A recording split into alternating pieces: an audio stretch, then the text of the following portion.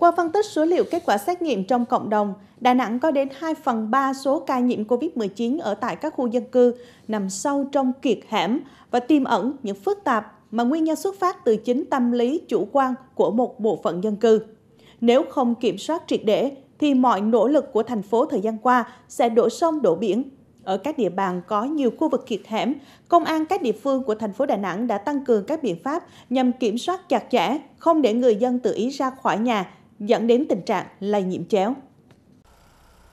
Chỉ trong vòng vài ngày trước, khi xét nghiệm tại các kiệt hẻm nằm trên đường Trần Cao Vân thuộc phường Tam Thuận, quận Thanh Khê, CDC Đà Nẵng đã ghi nhận hàng chục trường hợp dương tính với virus SARS-CoV-2. Nguyên nhân được xác định là tại các khu vực này đã xảy ra tình trạng lây nhiễm chéo.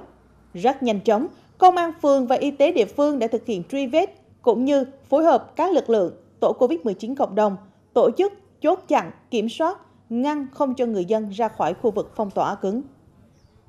Thì hiện tại giờ thì tổ tôi ờ, cũng có nhiều người họ họ ra thì tôi họ ra ngoài bởi tính cách đó là ngồi ờ, ở trực gia vẫn phải ra đường. Nhưng tôi vận động đi vô một tí sức vô một tí đừng có ra khỏi đường là được. Với đặc điểm kiệt hẻm nhỏ nhiều lối rẽ thông nhau dân cư đông đúc khiến công tác giám sát quản lý người dân ra ngoài gặp không ít khó khăn Công an phường đã đưa ra phương án lắp đặt thêm các camera giám sát có độ bao phủ rộng để kịp thời nhắc nhở, chấn chỉnh những trường hợp ra ngoài không cần thiết. À, chúng tôi lắp trong một khu cách ly là gồm hai cái camera là có cái biên độ phủ hết cái khu cách ly đó và khi có khi ở trung tâm và phát hiện đến cái trường hợp nào mà vi phạm chúng tôi sẽ liên lạc đến cán bộ trực chốt có cái biện pháp là chấn chỉnh xử lý ngay tại chỗ hoặc trường hợp mà phức tạp cần cái lực lượng tăng cường thì chúng tôi sẽ cử lực lượng đến để mà đưa cái cái người à, vi phạm đó về cái nơi an toàn để mà lập hồ sơ xử lý theo quy định.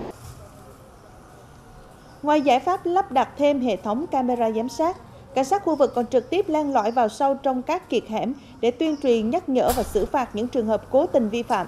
Chính quyền thành phố cũng bắt đầu triển khai flycam nhằm giám sát việc chấp hành của người dân ở những khu vực trên. Để kiệt hẻm không còn là điểm nóng của dịch bệnh, bên cạnh những biện pháp quyết liệt thì người dân sinh sống tại các khu vực này cần tuân thủ nghiêm ngặt việc ai ở đâu thì ở đó để bảo vệ sức khỏe cho bản thân, tránh sự lây lan của dịch bệnh trong cộng đồng.